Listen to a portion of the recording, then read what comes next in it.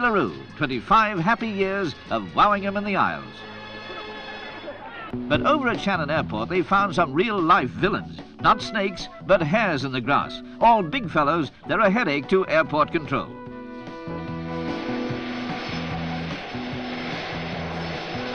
But the hares have taken to airport life, and nothing seems to scare them off. Not even the occasional helicopter roundup. They'll just have to change the name to Shannon Harefield. When London Zoo announced a happy event three months ago, senior keeper Ron Smith